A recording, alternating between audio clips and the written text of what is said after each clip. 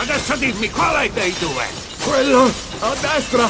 Bene, allora l'altro può anche essere distrutto!